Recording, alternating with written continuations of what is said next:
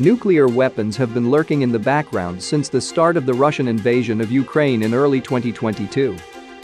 Now, more than ever, Russia sees them as the ultimate insurance policy against NATO intervention in Ukraine.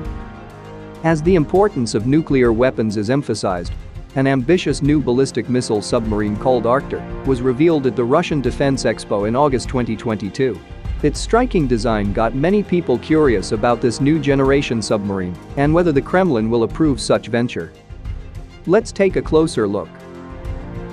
Named Arcturus or Arktur, after the brightest star in the northern celestial hemisphere, this new submarine appeared on display as part of the Army Forum 2022, a Russian defense expo.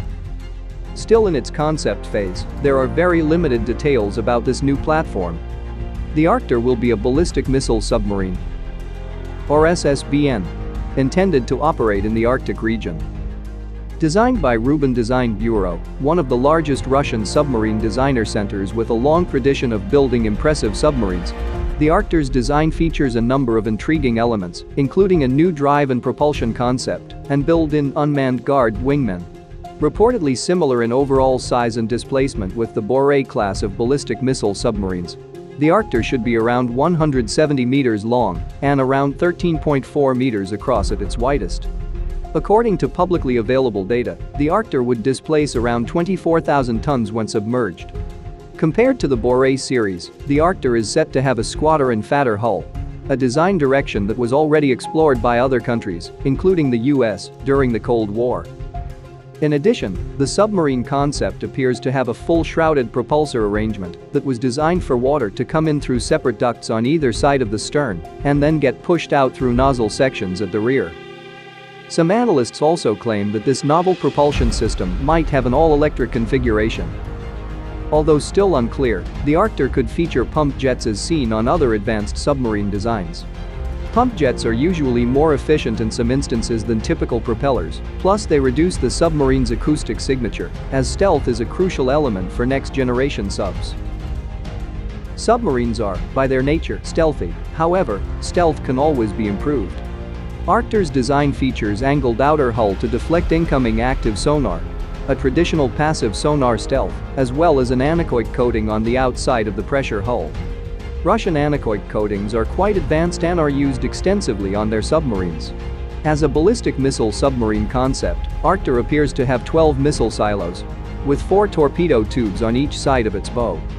This is less than the current submarine's capacity, but as the missiles get more powerful, the number required to ensure destruction decreases. However, the most visually grabbing element have to be the two large side-opening payload bays towards the stern that are customized to house unmanned underwater vehicles, or UUVs. Known as underwater drones, they will be able to operate in conjunction with the Arktur submarine. Named Surrogate 5, the UUV has a very low-profile design with a large conformal sonar array and a single pump jet propulsor at the rear, suggesting high underwater speeds. The Surrogate 5 is reportedly equipped with a non-acoustic submarine detection system which follows chemicals and radiation left behind enemy submarines, implying that the UUV is intended for anti-submarine warfare. The all-new design with improved super stealth capabilities and a new propulsion system already set the Arktur apart from previous Russian submarines. But the integrated UUV is one of the most significant features of this concept. The Arktur can transport up to two UUVs that can be used as underwater loyal wingmen to perform a variety of different roles. The Arktur submarine is, after all, just a proposal rather than a sanctioned project. The chances of Arktur being built in the near future are slim, considering Russia's current economic situation.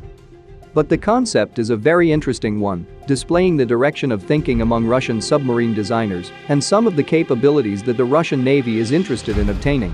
What do you think about this new submarine concept? Let us know in the comments below. If you want to see more videos like this one, give it a thumbs up and don't forget to subscribe to our channel.